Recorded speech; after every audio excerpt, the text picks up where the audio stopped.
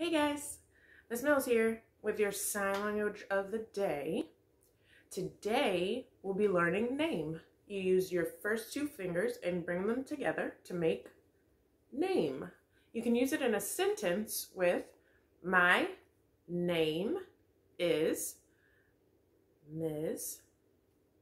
Mills or your teacher's name is Ms.